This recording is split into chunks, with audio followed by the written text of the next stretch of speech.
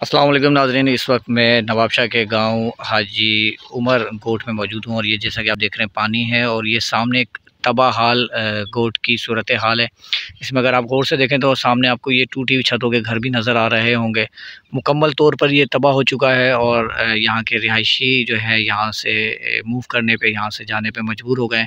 اور جہاں کے جتنے بھی رہائشی ہیں انہوں نے بند کے اوپر عارضی خیمے باندھے ہوئے ہیں۔ یہاں پر نہ تو پینے کا صاف پانی ہے نہ ضروریات زندگی ہے اور یہاں کے مکین میرے ساتھ موجود ہیں۔ السلام علیکم۔ کیا نام ہے آپ کا بھائی؟ میرا نام طالب ہے۔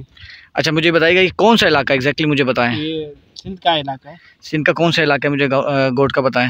ہم کو اردو نہیں آتا ہے ہم اچھا اردو جس کو آتی ہے بتائیں۔ سر یہ اپنا ضلع نواب ضلع شہید بین ضلع تحصیل نواب شاہ۔ ہے اچھا یہ بتائیں آپ کے مکان کوئی بچے ہیں یہاں پر؟ نہیں سر پورا گھر تباہ ہوئے۔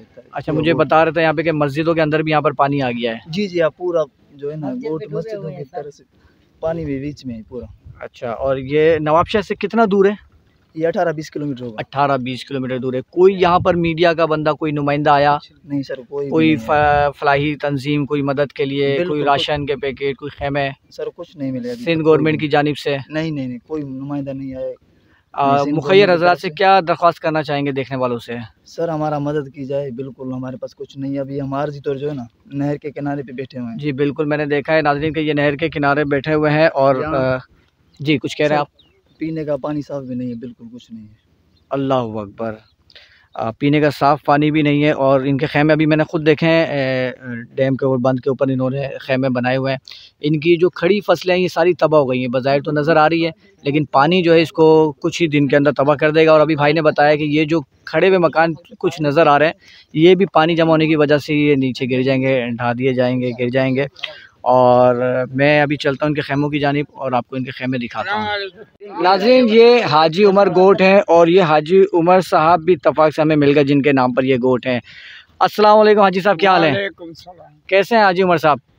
یار بڑھ گیا سارا آدمی جے کہ میرا گوٹھ پنجا سٹھ گھر اللہ وہ اکبر۔ بے گھر گئی اور اللہ اکبر۔ کیا حکومت سے کیا کہنا چاہیں گے؟ کچھ کو نہ ملیا اساں کو ایکڑے اگڑی کوئی نہیں ملا۔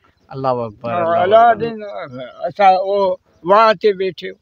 کیا کہنا چاہیں گے آپ ہم لوگ یہی کہنا چاہتا ہوں گورنمنٹ کو یہی عمرض کر رہے ہیں بھائی ہم لوگ ادھر ڈوب گیا کوئی بھی ہمارا خیمہ نہیں ملا ہے نہ ہم کو کچھ راشن ملا ہے کوئی چیز بھی ہم لوگوں کو نہیں۔ کیا ہے ہم لوگ ڈوبے پڑے ہیں دیکھ رہے ہیں خود آپ لوگ جگہ دیکھو کیسے لگے پڑے ہیں ہم لوگ کوئی بھی امداد گورنمنٹ طرف سے نہیں آیا جو بھی گورنمنٹ سے پوچھے ہم لوگوں کا تھوڑی امداد کرے تھوڑی ایک مدد کرے ہم لوگوں کا۔ سندھ گورنمنٹ سے وفاقی گورنمنٹ سے مخیر حضرات سے فلاحی تنظیمات سے میری گزارش ہے کہ اس گوٹ کی جانب رخ کریں اور یہاں کے متاثرین کی مدد کریں۔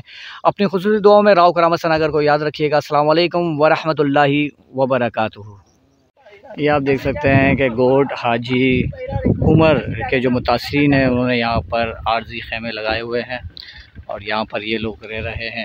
اچھا ناظرین، میں آپ کو ایک بات بتاتا چلوں کہ ہمارا پہلے ارادہ تھا ٹرک سامان کا لے کر آنے کا، لیکن جب ہم نے دیکھا کہ بہت لوٹا ماری چل رہی ہے، تو ہم نے سوچا یہ کہ کہ ہم جو ہے پہلے یہاں کے لوگوں سے ملیں، مقامی لوگوں سے ملیں، تاکہ ہمیں اندازہ ہو کہ کتنی یہاں پر عوام ہے اور ان کی کیا کیا ضروریات ہے۔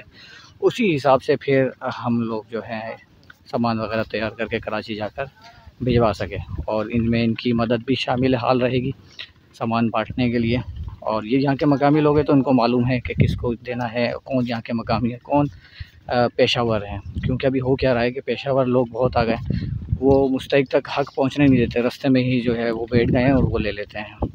یہ آپ دیکھ سکتے ہیں یہاں پر عارضی کیا ہے لگے ہوئے ہیں۔